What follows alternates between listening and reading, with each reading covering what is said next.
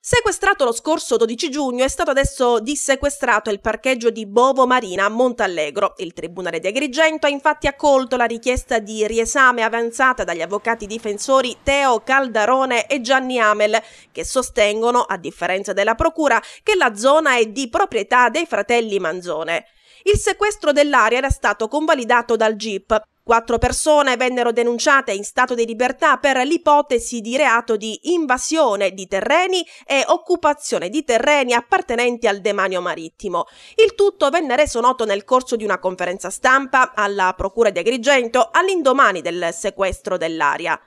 Con l'accoglimento della richiesta di riesame da parte del Tribunale di Agrigento, malgrado ancora non si conoscano le motivazioni del provvedimento, dicono gli avvocati Caldarone ed Amel, cede l'impianto accusatorio sotteso al provvedimento di sequestro per l'evidente insussistenza dei reati ipotizzati a carico dei fratelli Manzone di invasione di terreno ed occupazione di suolo pubblico.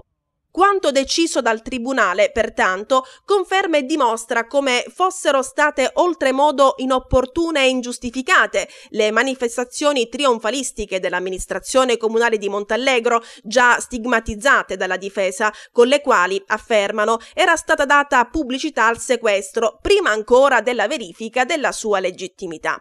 Tanto rumore per nulla, concludono.